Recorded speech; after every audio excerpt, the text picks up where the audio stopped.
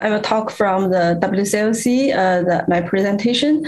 So uh, in this year WCLC, I will present uh, two topics.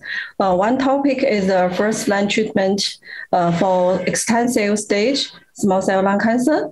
So in this presentation, I just uh, uh, summary the, the progression from the clinical trial results and some translational uh, uh research results.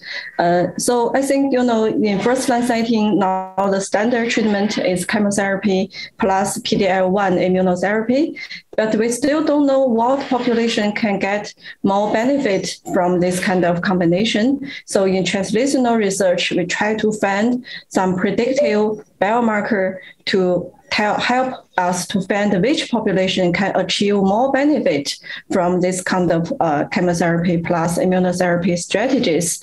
But you know, for small cell lung cancer, it's very, very difficult for us to find the definite predictive biomarker to uh, to divide uh, which population. So you know, a lot of uh, small cell lung cancer experts they did a lot of uh, translational or basic research work. For example, Professor uh, Charles Rudin from MSK in New York, he divided the uh, small cell lung cancer into four molecular subtypes.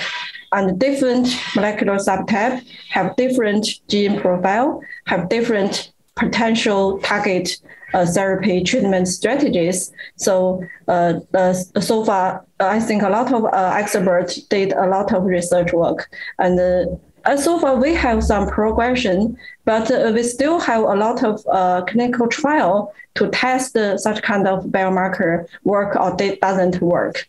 But we still wait for the large trial results can tell us uh, which molecular or which uh, biomarker can help us to do uh, more work in our clinical practice. Uh, so I think in this uh, my in this uh, this time my presentation just uh, summary this progression in different fields. Yeah.